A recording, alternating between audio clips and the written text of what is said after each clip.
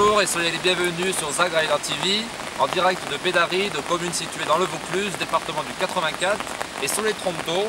Il faut savoir que ce département est situé en alerte orange vis-à-vis des précipitations orageuses. Durant les dernières 24 heures, nous avons eu de forts cumuls, et durant les prochaines 48 heures, ces cumuls vont devenir assez conséquents. Derrière moi se trouve l'Ouvèze, rivière qui traverse le village et qui est en train de se remplir et atteint petit à petit un régime de crue.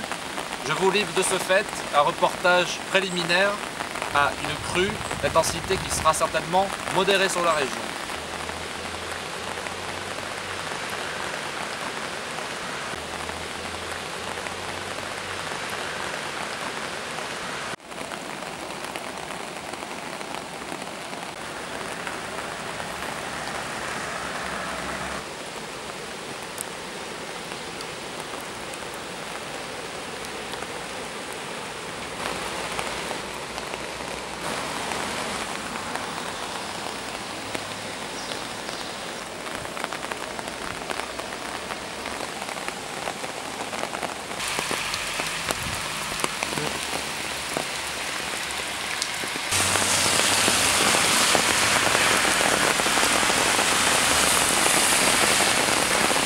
Yeah, I'm